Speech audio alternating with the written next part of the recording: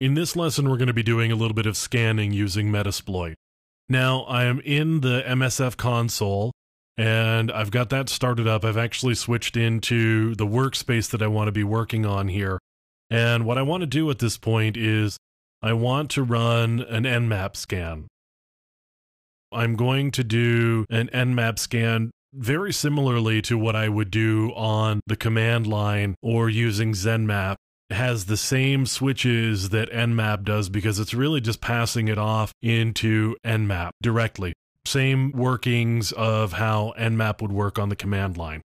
In this case, though, I'm using a db underscore because the results are actually going to get populated inside of Nmap's database. I'm going to do a SYN scan. I want to do an operating system scan as well. And I actually want to do 172.30.42.17 is the system I'm going to scan.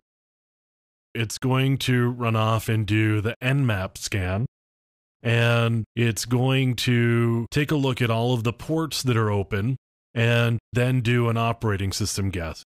And you can see we've got the results here, and we've got a couple of ports that are open.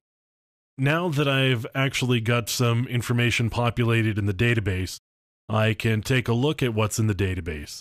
If I type hosts, now I've got that one system in my hosts file or hosts part of the database. I can also take a look at the services that are there, and you can see these are the services otherwise known as ports, although we've got some service names here as well. Now, I could, just for the fun of it, I could actually do another scan here just to have a little something extra to populate the database with.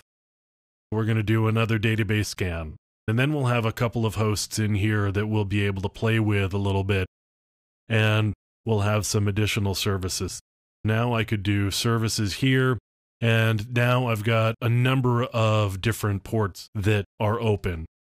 Now, coming up, I want to do some service scanning and do some scanning based around particular services and in that case, I'm going to be looking across a whole network rather than just some individual hosts. We'll take a look at that, and we'll also be doing some working with Nessus so that we could look at vulnerabilities. Well, I could look at vulnerabilities within the database too. Just type vulns, but I don't actually have a vulnerability scan that's been imported in yet, so there's no information populated in the database at this point. We'll be doing that coming up in the next few lessons.